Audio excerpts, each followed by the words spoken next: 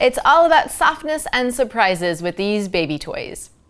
Hi, I'm Laurie from TTPM, and these are the Fisher-Price Peekaboo Elephant, Monkey, and Bear.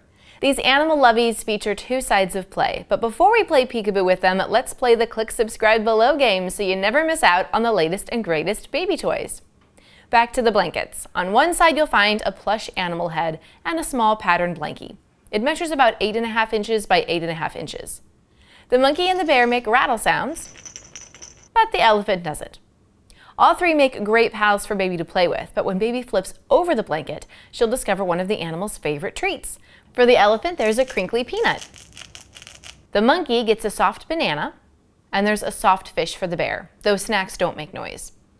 The fabric on this side is shiny and smooth. The loveys can be attached to a car seat or stroller thanks to a removable clip. Loops on both the animal and the snack mean you can hang this toy with either side showing. Each one of these is sold separately and is for ages birth and up.